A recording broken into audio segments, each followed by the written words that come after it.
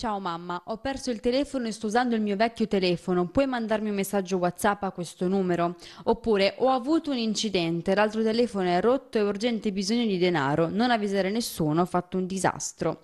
Se prima la tecnica era quella del postino, ormai scontata persino per gli over 70, le nuove truffe di oggi mirano a colpire emotivamente le persone e sono sempre più al passo coi tempi per sfruttare le tecnologie avanzate, tanto che in Italia hanno già fatto piazza pulita. Dall'ultimo bilancio del 2022 2022 le frodi informatiche sono quasi raddoppiate rispetto al 2021, toccando quasi 6.000 casi con 725 persone indagate e 36,5 milioni di euro rubati. Numeri che sono molto alti ma che non stupiscono più di tanto, dal momento che un italiano su 10 non sa riconoscerle e il 5% della popolazione non adotta misure specifiche per proteggere i propri dati. E ovviamente questo non fa che aumentare la possibilità di cadere nell'imbroglio. Ad oggi esistono in particolare due strade utilizzate dai truffatori. Nel primo caso è quella del messaggio inviato da un familiare, magari fuori regione, in una zona poco raggiungibile, chiedendo di effettuare al più presto una ricarica di quasi 1000 euro tramite il canale Money, ad una carta con tanto di numero e codice fiscale di riferimento. Insomma, tutto servito su un piatto d'argento dove la vittima deve solo mandare i soldi.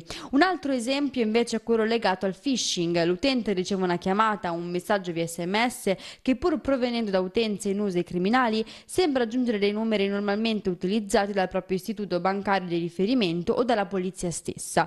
Qui entra in gioco la tecnica dello spoofing che consente ai malfattori di effettuare chiamate scegliendo quale numero far apparire sullo schermo del cellulare.